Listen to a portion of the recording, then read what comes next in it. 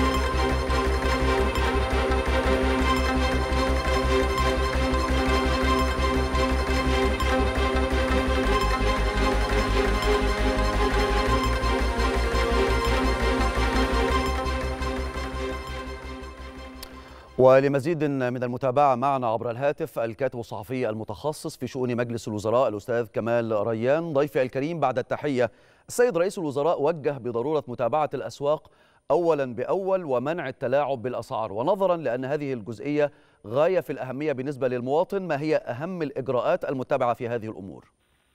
بداية تحيات لحضرتك والساده المشاهدين. الحقيقة بالفعل يعني طبعا الحرب الروسية الأوكرانية كما أشار رئيس الوزراء بتلقي بظلالها على العالم كله ومنه طبعا مصر. وهناك آثار اقتصادية سلبية وأبعاد مختلفة. الدولة عملت على التخفيف من حدة هذه الآثار واتخذت إجراءات لذلك. وطبعا في مقدمة هذه الإجراءات تأمين توافر السلع الأساسية بالأسواق في هذه المرحلة الدقيقة اللي بتمر بها العالم اللي بيمر بها العالم كله. أيضا في تكليف من رئيس الوزراء للوزارات والجهات المعنية بضرورة متابعة الأسواق اولا بأول لمنع أي تلاعب في الأسعار أو استغلال الظروف اللي بيمر بها العالم بصورة سيئة لتحقيق أغراض ومصالح نعم. يعني على حساب المواطن أيضا تم التأكيد على التعامل بحسم مع أي ممارسات غير مقبولة من جانب التجار الجشعين والدولة وفرت مختلف أنواع السلع وأمنت احتياط استراتيجي من مختلف أنواع السلع ورئيس الوزراء حق حذر من إن الحكومة لن تسمح بأي ممارسات ووجه بالتنسيق أيضا مع الغرف التجارية في هذا المجال وكان في أيضا رسالة طمأنة للمواطنين إن المشروعات القومية الضخمة اللي نفذتها الدولة ومنها على سبيل المشروعات الصوامع على سبيل المثال هذه المشروعات اللي نفذتها الدولة بقيادة وتوجيهات السيد الرئيس عبد الفتاح السيسي كان لها دور كبير في إن تأمن احتياطات احتياطي قوي من السلع للمواطنين إن شاء الله ما يكونش فيها أي آثار يعاني منها المواطن. نعم.